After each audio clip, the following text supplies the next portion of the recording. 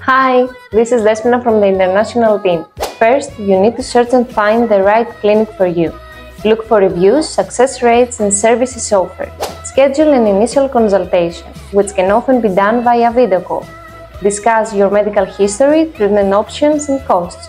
Complete necessary medical tests and evaluations, either in the US or upon arrival in Greece. Plan your trip to Greece, including accommodation and transportation. Ensure you have all required travel documents. At Newlife, we can organize the package and make this process easier.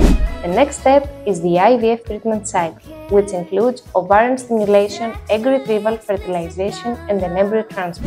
Then you continue any necessary follow-up care with your local healthcare provider.